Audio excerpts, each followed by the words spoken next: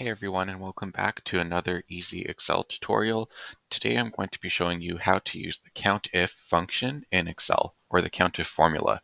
This is a really great formula if you're looking to count something given a certain condition. So I'm going to walk you through four different examples. So we have some data here and we can see in column F we have the age of each person in the list. And what I want to do is I want to count everyone in the list that is equal to 22.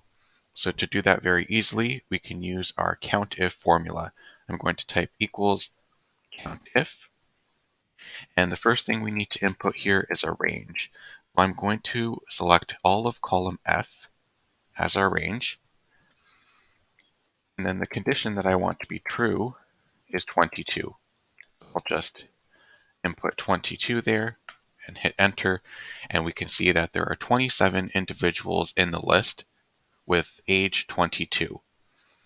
Similarly, you can see how many people in the range are greater than 22. So again, I'm going to type equals count if. I'm going to select column F as our range. Then in quotes again, we're going to use the greater than sign, 22. Hit enter, we can see that there are 483 people in the list greater than 22 years of age. Let's do a less than, same thing.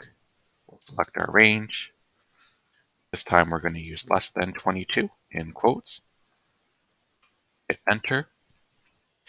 And now for the fourth example, I have not equal to. So a not equal to is just this. We've got uh, two brackets here arranged in a diamond. So I want to see in our list everyone, I want to count everyone that is not uh, equal to 22 years of age. So we'll do equals count if,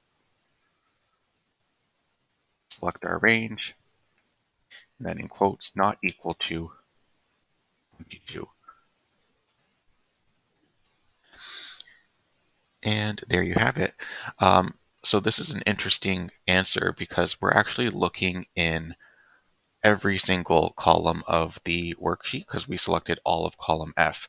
If we wanted to only look at just the, the columns with data, then what we could do is we could change our range instead of looking at all of column F.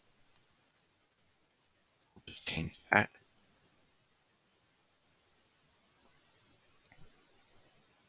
And I'm just highlighting everything in our range.